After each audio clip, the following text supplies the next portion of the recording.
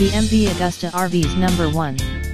Reparto Veicoli Speciali number 1, which was designed in coordination with the Castiglioni's own CRC.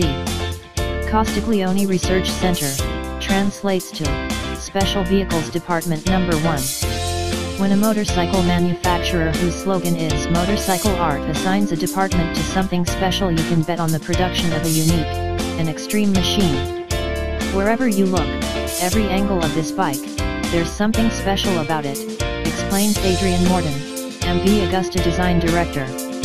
The machine from MV's Reparto Veicoli Speciali is littered with titanium and carbon alongside other parts which have been machined to perfection. The RVS number 1 is shod with a honeycomb stitched seat and enough skulls to make even the Punisher take a second look. We can't take our eyes off of the welds on that snaking SC Project Race exhaust. The RVS includes two spotlights on the right side and a LED headlight using an integrated inertial system illuminating the individual units based on lean angle. The RVS number 1 racing parts kit includes a few parts that MV most likely could not include bolted to the bike and still pass emissions around the world. Motorcycle cover. Welcome kit with certificate of origin for dragster. Quick release fuel tank cap. Engine oil cap black Ergal. Racing exhaust silencer with mounting kit.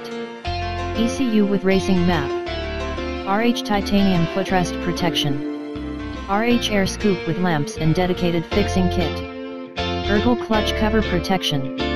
Complete support for Ergal frame protection, RH slash LH side. Engine pickup protection.